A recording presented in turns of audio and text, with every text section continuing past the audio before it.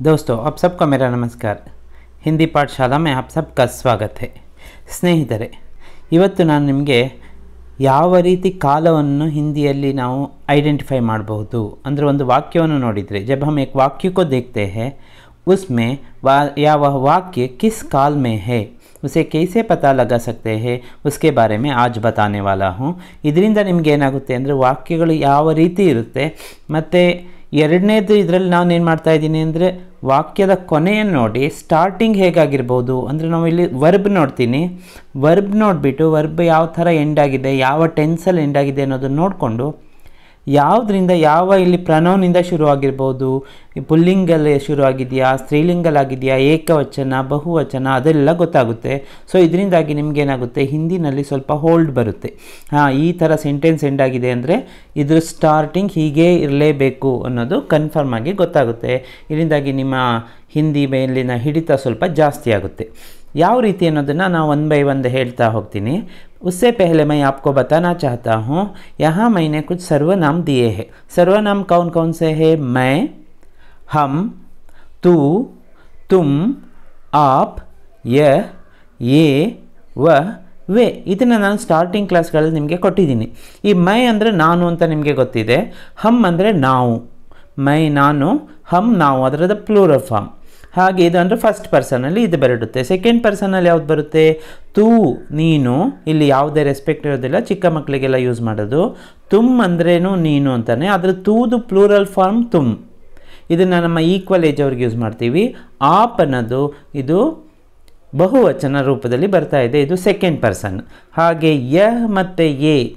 ಯಹ್ ಏಕವಚನ ಆದರೆ A A ಅಂದರೆ ಇವನು, ಇವಳು, ಇದು. ಹಾಗೆ ಎ ಅಂದರೆ ಇವರು, ಇವುಗಳು. ಇದು ಏನಾಗುತ್ತೆ? ಏಕವಚನ ಮತ್ತು ಬಹುವಚನ ಇದೆ, ಹತ್ತಿರ ಇರುತ್ತೆ. ಹಾಗೆ ವ, ವೇ. ವ ಅಂದರೆ ಏಕವಚನ್, ಇವನು, ಇವಳು, ಇದು. ಹಾಗೆ ವೇ ಅಂದರೆ ಅವುಗಳು, ಅವರು ಅಂತ ಬರುತ್ತೆ. ದೂರ ಇರೋದಕ್ಕೆ ಬರುತ್ತೆ. ಇದನ್ನು ನೆನ್ಪಿಟ್ಕೊಂಡು ಇದ್ರ ಬೇಸಿಸ್ ಮೇಲೆ ನಾವು ಮುಂದೆ ಹೋಗ್ತಾ ಇರ್ತೀವಿ. ನೋಡೋಣ ಏನೇನು ಬರುತ್ತೆ ಅಂತ.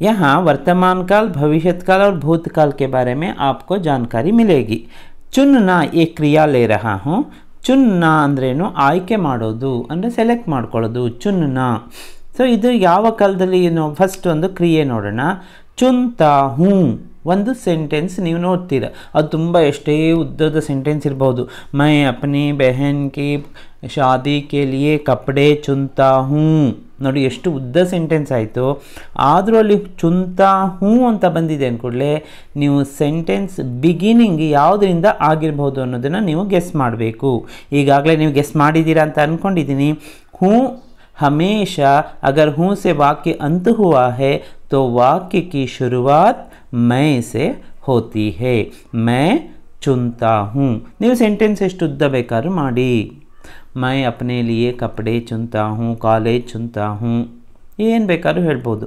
ಸೊ ಚುನ್ತಾ ಹೂ ಅಂದ ಕೂಡಲೇ ಇಲ್ಲಿ ಯಾವ ಸರ್ವನಾಮನ ಯೂಸ್ ಮಾಡ್ಬೋದು? ಮೈ ಚುನ್ತಾ ಹೂँ ಹಾಗೆ ನೆಕ್ಸ್ಟ್ ಏನಿರುತ್ತೆ? ಚುನೂಂಗ ಅಂತ ಇದೆ. ಚುನೂಂಗ ಅಂತ ಕೂಡಲೆ ಚುಂತಾ ಹೂ ಅನ್ನೋದೇನು ತಾ ಹೂ ಪ್ರೆಸೆಂಟ್ ಟೆನ್ಸಲ್ಲಿದೆ. ಅದು ಮೈ ಬಂದಾಗ ಹಾಗೆ ಬರಬೇಕು. ಚುನುಂಗ ಗಾ ಗಾ ಗೇಗಿ ಬಂದ ಕೂಡಲೇ ಅದು ಫ್ಯೂಚರ್ ಟೆನ್ಸಲ್ಲಿರುತ್ತೆ. ಚುನುಂಗ ಇರೋದ್ರಿಂದ ಮೈ ಚುನುಂಗ ಮೈ ಚುನುಂಗ ಅಂತ ಬರುತ್ತೆ. ಇದು ಫ್ಯೂಚರ್ ಟೆನ್ಸ್.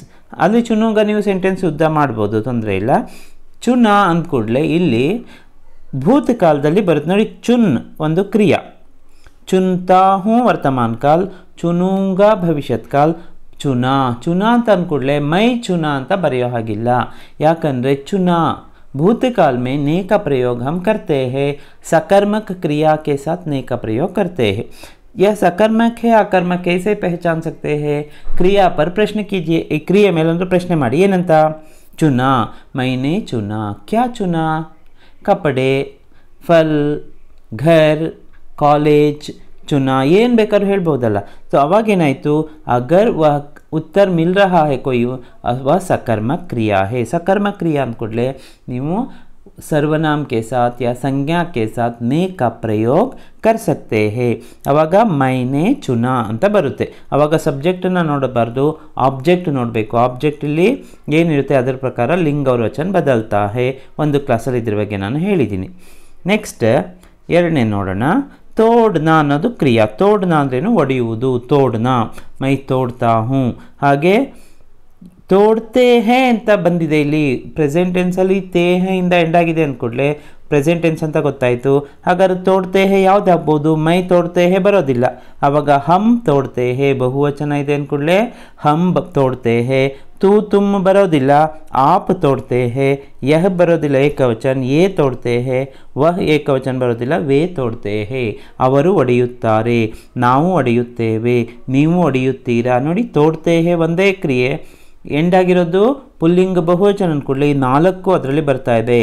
ಹಮ್ ಆಪ್ ಎ ವೇ.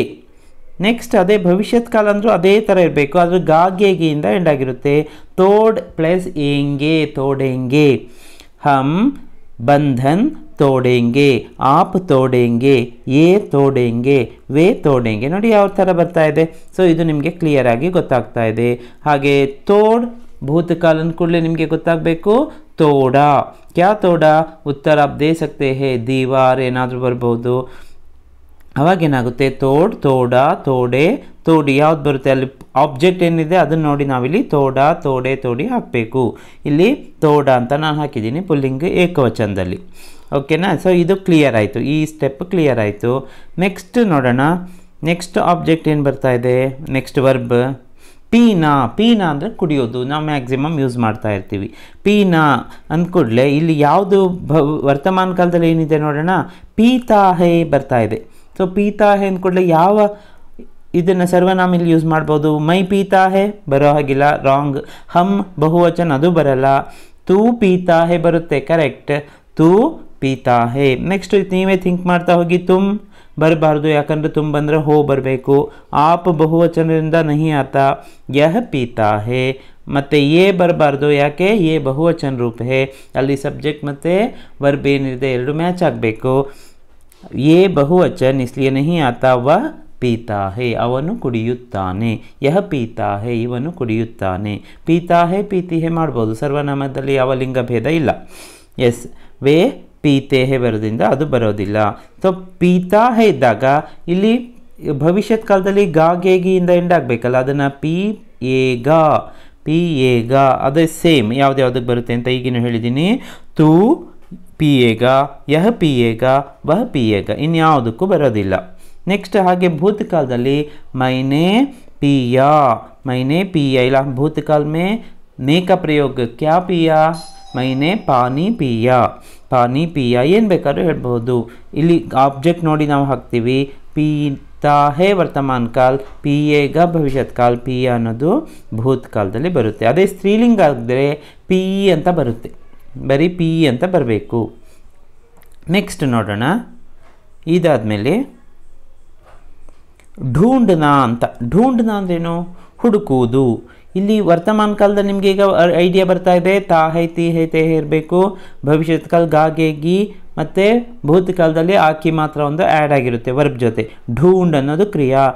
ಢೂಂಡ್ ಪ್ಲಸ್ ತಾ, ಹೈ, ತಿ ಏನು ಬರುತ್ತೆ? ಅದನ್ನು ನೋಡಿ ಡಿಸೈಡ್ ಮಾಡೋಣ. ತೇ, ಹೋ ಬಂದುಬಿಟ್ಟಿದೆ ಈಗ. ತೇ ಹೋ ಬಂದಿದೆ ಅಂದರೆ ಹಾಗಾದ್ರೆ ಏನಾಗಬೇಕು? ಹೋ ಅಂತ ಬಂದಿದೆ ಅಂದರೆ ಶುರು ಮೇ ವಾಕ್ಯ ತುಮ್ ಸೇ ಹಿ ಶುರು ಹುವ ಹೋಗ. ತುಮ್ ಶುರು ಆಗಿರಬೇಕು. ತುಮ್ ಢೂಂಡ್ತೆ ಹೋ. ತುಮ್ ಢೂಂಡ್ತೆ ಹೋ. ಇನ್ಯಾವುದಕ್ಕೂ ಬರೋದಿಲ್ಲ. ಹಾಗೆ ಹೋ ಅಂದಮೇಲೆ ಫ್ಯೂಚರ್ ಟೆನ್ಸಲ್ಲೂ ಗಾಗೆಗಿ ಬಂದರೂ ಅದರಲ್ಲಿ ಓ ಸೌಂಡ್ ಬರಬೇಕು. ಢೂಂಡ್ ಪ್ಲೇಸ್ ಓಗೆ ಢೂಂಡೋಗೆ ನೋಡಿ ತುಮ್ ಘರ್ ಢೂಂಡೋಗೆ ಘರ್ ಢೂಂಡೋಗೆ ಹಾಗೆ ಢೂಂಡ್ ಪ್ಲಸ್ ಆ ಢೂಂಡ ಭೂತಕಾಲದಲ್ಲಿ ತುಮ್ನೆ ಢೂಂಡ, ತುಮ್ನೆ ಬರುತ್ತಿಲ್ಲ. ಯಾಕಂದರೆ ಇದೊಂದು ಸಕರ್ಮ ಕ್ರಿಯೆ. ನೆಕ್ಸ್ಟ್ ನೋಡೋಣ. ಢೂಂಡ್ನಾದಮೇಲೆ ದೌಡ್ನ ಅನ್ನೋದು ಒಂದು ಕ್ರಿಯೆ ಬರ್ತಾ ಇದೆ. ದ, ತಾ ಹೈ, ತಿ ಹೈ, ತೇ ಬಂದರೆ ವರ್ತಮಾನ ಕಾಲ ಗೊತ್ತಿದೆ. ಯಾವುದು ಬಂದಿದೆ ನೋಡೋಣ. ತೇ ಹೈ ಬಂದಿದೆ. ದೌಡ್ ಪ್ಲಸ್ ತೇ ಹೇ ದೌಡ್ತೆ ಹೇ. ಸೊ ಇದೇನಾಗಿದೆ? ತೇ ಬಂದ ಕೂಡಲೇ ಅದು बहु बहुवचन है और है के ऊपर बिंदु भी है ते है यहाँ बहुवचन सूचित करता है ಸೊ ಬಹುವಚನ ಯಾವುದ್ಯಾವುದಿದೆ ಇದರಲ್ಲಿ ಹಂ ನಾವು ಬಹುವಚನ್ ಆಪ್ ನಾವು ಹಂ ಆಪ್ ನೀವು ಬಹುವಚನ್ ಎ ಬಹುವಚನ್ ಇವರು ವೇ ಬಹುವಚನ್ ಅವರು ಸೊ ಈ ನಾಲ್ಕಕ್ಕೆ ಮಾತ್ರ ದೌಡ್ತೆ ಹೇ ಬರುತ್ತೆ ಸೊ ಇಲ್ಲಿ ಯಾವ ಡೌಟ್ ಇಲ್ಲ ಹಾಗೆ ಅದು ದೌಡ್ ಪ್ಲಸ್ ಎಂಗೆ ಬಂದರೆ ಏನಾಗುತ್ತೆ ಯಾಕಂದರೆ ಬಹುವಚನ್ ಬ ಭೂತಕಾಲ ಇದು ಭವಿಷ್ಯತ್ ಕಾಲದಲ್ಲಿ ದೌಡ್ ಪ್ಲಸ್ ಏಂಗೆ, ದೌಡೆಂಗೆ ಹಮ್ ದೌಡೆಂಗೆ, ಆಪ್ ದೌಡೆಂಗೆ ಏ ದೌಡೆಂಗೆ, ವೇ ದೌಡೆಂಗೆ. ಅದೇ ಮೈ ದೌಡೆಂಗೆ ಹೇಳಬಾರ್ದು, ತೂ ದೌಡೆಂಗೆ ಹೇಳಬಾರ್ದು ತುಮ್ ದೌಡೆಂಗೆ ಹೇಳೋಕ್ಕಾಗಲ್ಲ, ಯಹ ದೌಡೆಂಗೆನೂ ಬರಲ್ಲ, ವಹ ದೌಡೆಂಗೆ ಅನ್ನೋದು ಬರೋದಿಲ್ಲ. ನಿಮಗೆ ಅಲ್ಲಿ ಗೊತ್ತಾಗ್ತಾ ಇದೆ. ಎಸ್. ನೆಕ್ಸ್ಟ್ ನೋಡೋಣ ಭೂತಕಾಲದಲ್ಲಿ ಅದೇನು ಬರಬೇಕು? ದೌಡ್ನ, ಕ್ಯಾ ದೌಡ್ನ ಆನ್ಸರ್ ಸಿಗೋದಿಲ್ಲ ಇಲ್ಲಿ. ಸೊ ಇದನ್ನು ನಾವು ಅಕರ್ಮಿಕ್, ಅಕರ್ಮಕ ಕ್ರಿಯಾ ಇಂಟ್ರಾನ್ಸಿಟಿವ್ ವರ್ಬ್ ಅಂತೀವಿ. ಇಂಟ್ರಾನ್ಸಿಟಿವ್ ವರ್ಬ್ ಬಂದಾಗ ಹಮೇ ಕ್ಯಾ ಕರ್ನಾ ಹೇ? ಮೇಕ ಪ್ರಯೋಗ ನಹಿ ಕರ್ನಾ ಹೇ. ಅದಕ್ಕೆ ಏನು ಮಾಡಬೇಕು? ಹಮ್ ದೌಡೆ, ಆಪ್ ದೌಡೆ ಏ ದೌಡೆ, ವೇ ದೌಡೆ. ಇವರು ಓಡಿದರು, ಅವರು ಓಡಿದರು. ನಾವು ಓಡಿದೆವು, ನೀವು ಓಡಿದಿರಿ. ಈ ಥರ ಹೇಳ್ತಾ ಹೋಗಬೇಕು. ನೆಕ್ಸ್ಟ್ ಆದಮೇಲೆ, ದೌಡ್ ಆದಮೇಲೆ ಏನು ಬರ್ತಾ ಇದೆ? ಜೀತ್ನ ಜೀತ್ನ ಅನ್ಬೋದು ಗೆಲ್ಲುವುದು. ಇಲ್ಲಿ ಏನಿದೆ ತೀ ಹೇ ಬಂತು. ನೋಡಿ ಸ್ತ್ರೀಲಿಂಗ್ ಬರ್ತಾ ಇದೆ. ती है वर्तमान काल ता है ती है ते है वर्तमान काल सूचित करता है आपको समझ में आ गया है ಅವಾಗ ತೀ है ಇಲ್ಲಿ ಏಕವಚನ ಇರಬೇಕಾದ್ರೆ ಮೈ ಬರೋದಿಲ್ಲ ಯಾಕಂದ್ರೆ ಹ್ಞೂ ಬರಬೇಕಿತ್ತು ಮೈ ಜಿತ್ತಿ ಹ್ಞೂ ಬರಬೇಕಿತ್ತು ಸೊ ಅದಾಗಲ್ಲ ಹಮ್ ಬಹುವಚನ ಇದೆ ಅದು ಬರಲ್ಲ ತೂ ಜಿತ್ತಿ ಹೇ ಯಹ ಜಿತ್ತಿ ಹೇ ವಹ್ ಜಿತ್ತಿ ಹೇ ನೀನು ಗೆಲ್ಲುತ್ತೀಯ ಅವಳು ಗೆಲ್ಲುತ್ತಾಳೆ ಇವಳು ಗೆಲ್ಲುತ್ತಾಳೆ ಬಂದು ಹೋಯ್ತು ಮುಗೀತು ಈ ಮೂರಕ್ಕೆ ಮಾತ್ರ ಬರುತ್ತೆ ಬೇರೆದ್ರಲ್ಲಿ ಬರಲ್ಲ ಹಾಗೆ ಏಗಿ ಬರಬೇಕು ಜೀತ್ ಪ್ಲಸ್ ಏಗಿ ಜೀತೇಗಿ ತೂ ಜೀತೇಗಿ ಯಹ ಜೀತೇಗಿ ವಹ ಜೀತೇಗಿ ಬೇರೆ ಹಮ್ ಜೀತೇಗಿ ರಾಂಗ್ ಯೂಸೇಜ್ ಆಗುತ್ತೆ ಮಾಡುವ ಹಾಗಿಲ್ಲ ಸೊ ಜೀತಿ ಕ್ಯಾ ಜೀತಿ ಏನು ಬೇಕಾದ್ರೂ ಖೇಲ್ ಬಂದರೆ ಜೀತಾ ಬರಬೇಕು ಪ್ರತಿಯೋಗಿತಾ ಜೀತಿ ಯಾಕಂದ್ರೆ ಆಬ್ಜೆಕ್ಟ್ ನೋಡಬೇಕು ಇಲ್ಲಿ ನೇಕ ಪ್ರಯೋಗ ಇರುತ್ತೆ ಮೈ ತೂನೇ ಜೀತಿ ತೂನೇ ಪ್ರತಿಯೋಗಿತಾ ಜೀತಿ, ತೂನೇ ಖೇಲ್ ಜೀತಾ, ಆ ಥರ ಬರ್ತಾ ಹೋಗುತ್ತೆ. ಭೂತಕಾಲದಲ್ಲಿ ಸ್ವಲ್ಪ ಯೋಚನೆ ಮಾಡಿ, ಏನಾದರೂ ಡೌಟ್ಸ್ ಇದ್ದರೆ ಇದ್ರ ಬಗ್ಗೆ ನೀವು ಕಮೆಂಟ್ಸಲ್ಲಿ ಕೇಳಿ,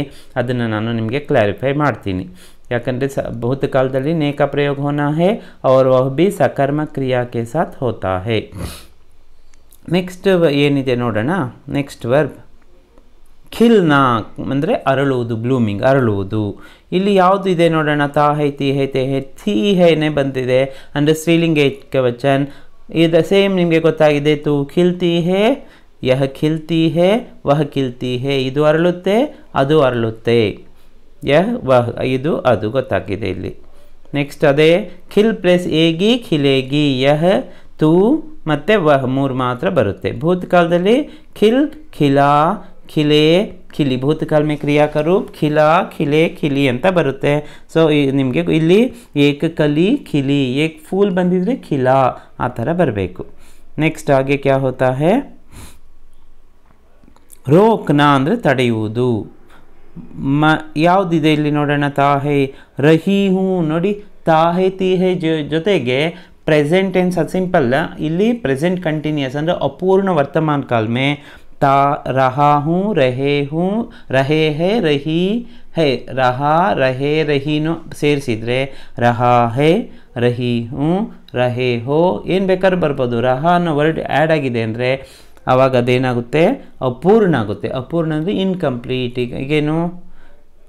ಲಡ್ಕಾ ಪಡ್ತಾ ಹೇ, ಲಡ್ಕಾ ಪಡ್ ರಹಾ ಹೇ, ಲಡ್ಕಿ ರೋಕ್ತಿ ಹೇ ಲಡ್ಕಿ ರೋಕ್ ರಹಿ ಹೇ ಆವಾಗ ಹ್ಞೂ ಬಂದಿದೆ ಅಂದ್ಕೊಡ್ಲಿ ನೀವು ಕಣ್ಮುಚ್ಚಿ ಹಾಕ್ಬೋದು ಮೈ ರೋಕ್ ರಹಿ ಹ್ಞೂ ಅದೇ ಭವಿಷ್ಯತ್ ಕಾಲ ಮೇ ಉಸ್ಕಾ ರೂಪ್ ಹೋತಾ ಹೇ ಊ ಸೌಂಡ್ ಬರಲೇಬೇಕಲ್ಲ ಮೈ ರೋಕ್ ಪ್ಲಸ್ ऊँगी रोकूंगी और ಭೂತಕಾಲ ಮೇ ಉಸ್ಕಾ ರೂಪ್ ಹೋಗಾ ಇಲ್ಲಿ ನಾನು ಭೂತಕಾಲದಲ್ಲಿ ಕಂಟಿನ್ಯೂಸ್ ಆದರೆ ಅಂದರೆ ಅಪೂರ್ಣ ಭೂತಕಾಲ में ने का प्रयोग नहीं होता इसलिए मैं रोक रही थी ಮೈ ಬರುತ್ತೆ ಅಲ್ಲಿ ನೇ का प्रयोग नहीं होता ಯಾಕೆ ಇದು ಅಪೂರ್ಣ ಭೂತಕಾಲದಲ್ಲಿ ಇದೆ ನೆಕ್ಸ್ಟ್ ಬಾಂಟ್ನ ಅಂತ ಬರ್ತಿದೆ. ಬಾಂಟ್ನ ಅಂದರೆ ಹಂಚುವುದು.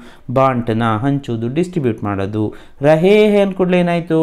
ರಹ, ರಹೇ ರಹೇ ರಹೇ, ಬಹುವಚನ ಸೂಚಿತ ಕರ್ತಾ ಹೇ, ಅದಕ್ಕೆ ಹಮ್ ಬಾಂಟ್ ರಹೇ ಹೇ ಹಮ್ ಮಿಠಾಯಿ ಬಾಂಟ್ ರಹೇ ಹೇ ಹಮ್ ಕಪಡೆ ಬಾಂಟ್ ರಹೇ ಹೇ, ಆಪ್ ಬಾಂಟ್ ರಹೇ ಹೇ, ಏ ಘರ್ ಬಾಂಟ್ ರಹೇ ಹೇ, ವೇ ಪುಸ್ತಕೆ ಬಾಂಟ್ ರಹೇ ಹೇ, ನೋಡಿ ಹಮ್ ಆಪ್, ಏ, ವೇ ಮಾತ್ರ ಬರುತ್ತೆ, ಬೇರೆ ಯಾವುದು ಬರೋದಿಲ್ಲ.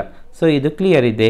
ಬಾಂಟ್ ಪ್ಲಸ್ ಏಂಗೆ ಬಂದರೆ ಏನು ಬರಬೇಕು? ಬಾಂಟೇಂಗೆ ಅದೇ ಹಮ್, ಆಪ್, ಎ, ವೇ. ಹಮ್ ಅಂದರೆ ನಾವು, ಆಪ್ ಅಂದರೆ ನೀವು, ಎ, ಇವರು, ವೇ, ಅವರು. ಇದು ನಿಮಗೆ ಕ್ಲಿಯರಾಗಿ ಗೊತ್ತಿದ್ದರೆ ಎಲ್ಲ ಸೆಂಟೆನ್ಸ್ಗಳು ಇದರಲ್ಲೇ ಬರುತ್ತೆ. ಇಲ್ಲಿ ನೇಮ್ ರೀಪ್ಲೇಸ್ ಆಗ್ಬೋದು ಅಷ್ಟೇ. ಇನ್ನೇನು ವ್ಯತ್ಯಾಸ ಇಲ್ಲ.